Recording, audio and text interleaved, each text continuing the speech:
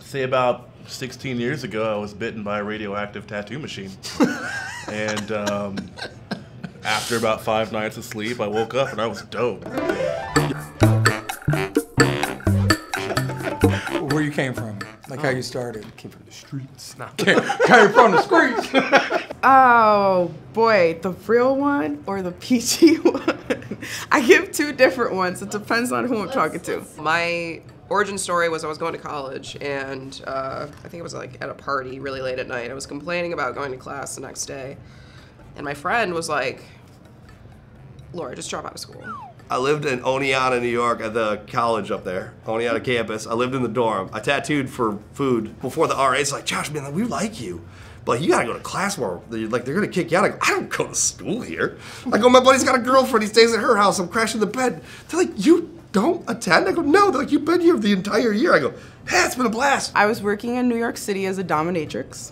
And one of the girls at the dungeon house that I was working at actually had left to start tattooing, and she was an artist as well. So I was like, that's really cool. Like, you know, I had been told by my art mentors that tattooing wasn't real fine art, it never would be. So I never really pursued it as an artist. Um, but seeing that another fine artist went and pursued it made me want to. So pretty much I just got one of my to buy me like all my first set of gear and from there, I just started tattooing, and I haven't stopped. I got into tattooing because I was a graffiti writer kid that like I wasn't gonna get I've a seen real it. job. It's Come good, on. yeah. There's no way. Absolutely not. No way. Whoa.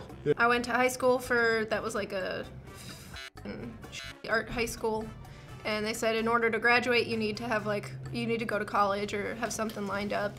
And I didn't even take take my SATs because I was like this stupid punk rock kid, and they were like, "Well, you have to do something, otherwise we're not gonna let you graduate." So I was like, "I'm gonna tattoo," and then they said, "Okay, well go get a job." So I went that night and I got an apprenticeship. I brought a portfolio into a street shop. That was it? That's it. I, uh, I had to suck a dick to get my apprenticeship. like literally. you too? When I went in, I was like, yo, I'm interested in being an apprentice. Let me know all the information. He goes over and he's like, I have a spot opening up in February. Do you want to take it? So I was like, yeah.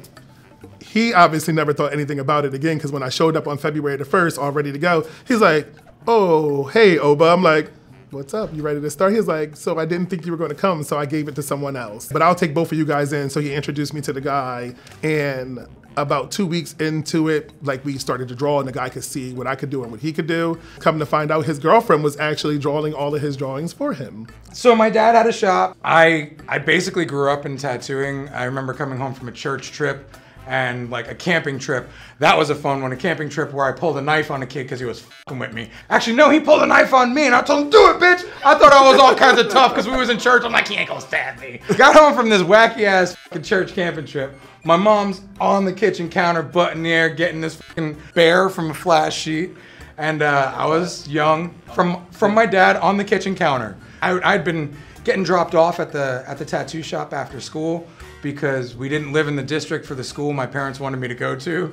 So they pretended that I lived at the tattoo shop. So they would drop me off at the tattoo shop every day, and I would just do my homework and sit there and like I was fucking obsessed. I took the hundred dollars I had to my name and ordered like a tattoo kit off of eBay. I literally had to use my mom's credit card and I gave her. She was all for it for some reason. She was wildly supportive of her child tattooing in her basement. I don't really know why. And then I actually I tattooed my brother. I tattooed myself. I tattooed like a few people. And then I actually I think I tattooed like a relatively wildly underage person and his mom found out. And then I got like a cease and desist letter in the mail. And they were like, "Hey, it's fine. This was a while ago." I think. know. when I was like 15, um, you know, this I met this dude and he just got out of jail and he was like, Jade, you know, I could put like this fing machine together with like a pen and a toothbrush. like the best and shit. a motor from like a Walkman, which don't even exist anymore. And I was like, it, let's do it. You know what I mean? Like, let's tattoo all the underage children who can't get tattooed. and so I just started tattooing the whole neighborhood. You know what I mean? I walked into like 40 shops, dude, and all the guys were like, "Oh yeah, f- you." And I was like, "Okay." That's what they told this me. Is, yeah, this is gonna be harder than it looks, and you know, you just like keep going. Pretty boy Mike over here trying to be a tattoo artist. I would have said the same shit. Man, go be a model or some shit. I grew up in Hawaii. Everybody has tattoos there. My dad got like this big ass tiger piece when I was like nine. Like he, his whole back is a tiger, and I watched him kind of get it all done, and I like watched the artist work. The artist was one of his friends, one of the artists who worked on it, and he ended up being really kind to me and like inspiring me in all these ways and I was like, "Oh my god, I want to be a tattoo artist. Like this is so cool. I love this." I started in uh, Key West. I moved down there actually to work for Jimmy Buffett, doing artwork for him and graphic design and stuff. And my roommates were tattoo artists, so I was just hanging out with them all the time, drawing tattoos for my friends. And next thing I know, uh, they asked me if I want to learn how to tattoo, and just ended up tattooing down there. I was like really young when I started like thinking tattoos were cool, and then I was 13 or 14 and I tattooed myself, and then I got an apprenticeship and that whole thing, and I had two arms at that point, um, and I was right-handed, so I was like 18 tattooing, doing like moderately all right, and then when I turned 19, um, I got into an accident and lost my dominant arm. So then, like, I went to a vocational therapist, and they were like, "Oh, you know, if, if you're not ambidextrous, you'll never be ambidextrous." So you can't tattoo ever again. And I was like, ah, you, I'm gonna tattoo. I had to learn how to tattoo with my non-dominant hand at the age of 19. I'm 24 now, so I've been tattooing left-handed for five years. I was tattooing right-handed for like a year and a half, two years. But honestly though, like now, it's like the best thing that ever happened to me because I get to do what I do now and, and people know me for that. Um, and I think my tattoos are better now because it's like, I care about it more than anything. I'm the only person that's ever learned how to tattoo with their non-dominant hand. Like, so I, I think that's kind of cool. But I mean, I don't know. It sounds as as like cheesy as it sounds. Like if you love something enough, you're gonna do it. You know what I mean? Like if, if you want to be an astronaut that bad, you fucking will be. You know? And I I want to do tattoos. So when they were like you can't, I was like, well, well, I'll figure it out. I went to school at art school, and then after school, there's no way to get a job. So I was talking to my friends, and then they said, "Hey, you know how to draw, so why don't you be a tattoo artist?" First time I say no because it's really against my culture how I grew up. I was born and raised in South Korea and then tattooing in Korea is really forbidden. Uh, it's illegal to do it, so you go to jail if you want to be a tattoo artist. I had to disconnect some of my family and friends as well because now they see me as a gangster. After college, I tried to find an apprenticeship, but as it turns out, uh, when you uh, act and talk like I do, people don't want to be around you very much. So it was it was hard finding an apprenticeship, and so I finally gave up, and um, I was focusing on my on my comic book career, and I went to go get tattooed.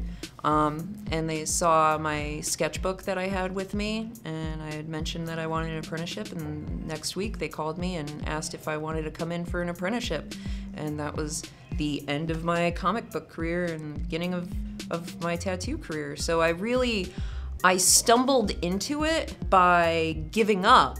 I was drawing on notebooks, jeans, and graffiti on walls. So when I was mm. like, you can put that shit on skin, like, what? Like, you know, so I begged my mom, yo, mom, can you get me a, I mean, a tattoo magazine? And I came from where a spot where it wasn't allowed.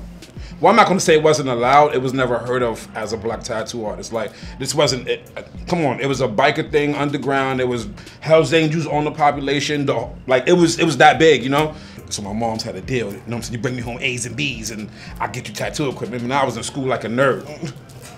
Yes, yes. I got an A. Thank you, mom. Look, there you go. She was like, okay, that's what you want. My mom's was smart. She was Yeah. like, you bring me home A's and B's, I'll buy you tattoo equipment. But her deal was, I'm bringing her home A's and B's. College doors will open up. Mm. So I'm like, you know what? I'm gonna study nursing. I don't know anything about the body. Let me go ahead and take that. So I took that up for two years. So when I went in my college dorm, I had it mapped out. I would tattoo for oodles and noodles, but toilet paper and shit like that. My Mm. room was like a full-on shop, bro. Like I had professors coming in, Pooch, I want this, you know. So that's how I got my skills on learning the skin. And then after college, I went and traveled the world. I hit Massachusetts. I met Evan. I've been Yeah. knowing Evan now for what? 15 years? Yeah, bro. Like I, have been tattooing 16 years. Yeah. I've probably known you forever. a year after I started. I was hitting places that you would never see a black person at. Like, honestly, like I, I, I, we, we tattooed together in Maine. Remember Yeah, that? In Maine, In Maine, like Every- 12 years everybody ago. was like, "Who the f- is this dude?" And I set up. And, and- and Little ass convention, 20 booths maybe. 15 Hell's booths. Angels everywhere, bikers. It was crazy. Yep. But in my mindset, it was like, if I can change their mind all through my artwork and not look at my skin color, it'll work, and it worked.